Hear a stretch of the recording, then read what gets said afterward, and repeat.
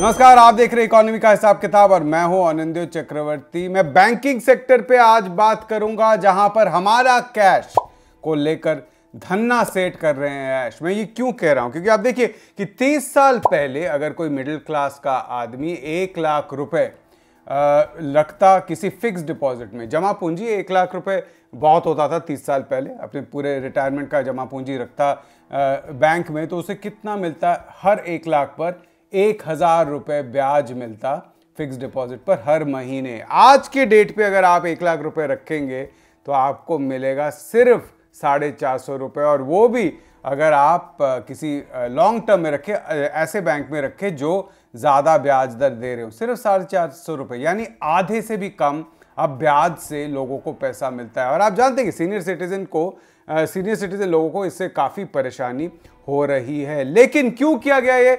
ये हमें बताया गया तीस सालों से कि अगर ब्याज दर कम रहे तो क्या होगा कि आसानी से जो बिज़नेस कारोबारी हैं, जो बिज़नेस चलाते हैं, वो लोग लोन ले पाएँगे और वो लोन लेंगे तो वो निवेश ज़्यादा करेंगे, यानी इन्वेस्ट ज़्यादा करेंगे। वो इन्वेस्ट ज़्यादा करेंगे तो क्या होगा? नौकरियाँ बढ़ेंगी, नौकरियाँ बढ़ेगी, लोगों के हाथ में पैसे आएँगे और उनका लिविंग स्टैंडर्ड रहन सहन का जो दर है, स्तर है, वो बढ़ेगा। यानी आर्थिक विकास देश में होगा क्योंकि लोन सस्ते मिल रहे हैं। ये एक बहुत आ, कहा जाता है बहुत सारे अर्थशास्त्री भी ये बात कहते हैं। आप स्कूल टेक्स्ट बुक में कॉलेज टेक्स्ट बुक में देखेंगे ये भी आपको दिखेगा। लेकिन क्या ऐसा हुआ है?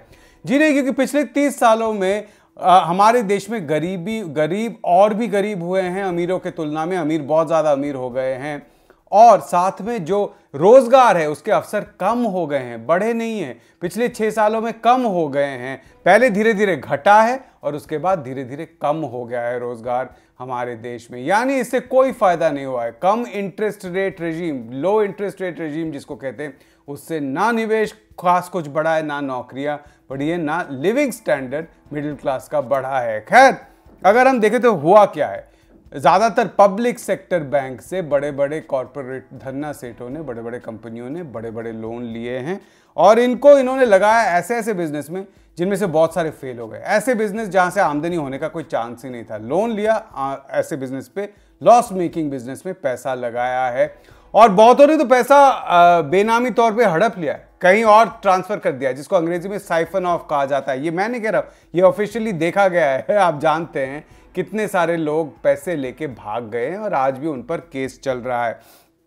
अब देखिए कि मोदी काल भी 2014-15 से लेकर 2020-21 तक जितने भी लोन प्रॉब्लम में जो वापस आएँगे या नहीं, ये हमें पता नहीं है, बैंकों को पता नहीं है, इनको मैं जोड़ूं तो सबसे पहले जिसको नॉन परफॉर्मिंग एसेट यानी कि खराब लोन कहा जाता है, जिसके जिसका वापस आने का चांस कम है, जिसमें ब्याज या प्रिंसिपल या इंस्टॉलमेंट नहीं आ रहा हो। बैंक उसको डिक्लेयर करते हैं। ऐसा 2020-21 के एंड में आठ लाख चौंतीस हज़ार करोड़ के आसपास ऐसे लोन थे एक साल में, नए, जिसको हम एनपीए या बैड लोन खराब लोन कहते हैं।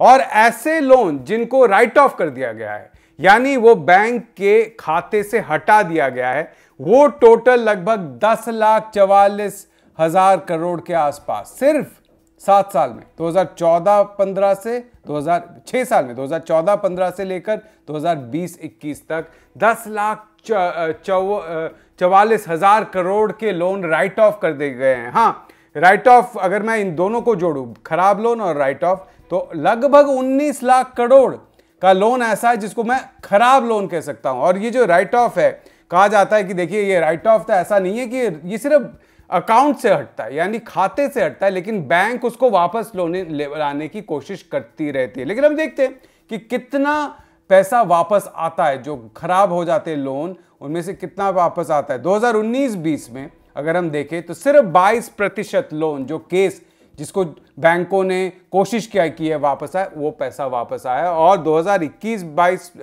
20 21 में और भी कम, सिर्फ़ 14 प्रतिशत।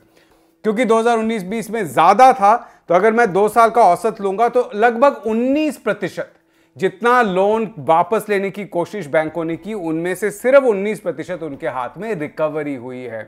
और अगर मैं all India bank employees association का जो डेटा है उसको लूँ, जो उन्होंने काफ़ी जाँच पड़ताल करके ती, तेरह ऐसे सबसे बड़े लोन के केस जो उन्होंने निकाले हैं, उसमें उन्होंने देखा है कि जो लोन अमाउंट था वो लगभग साढ़े चार लाख करोड़ का था।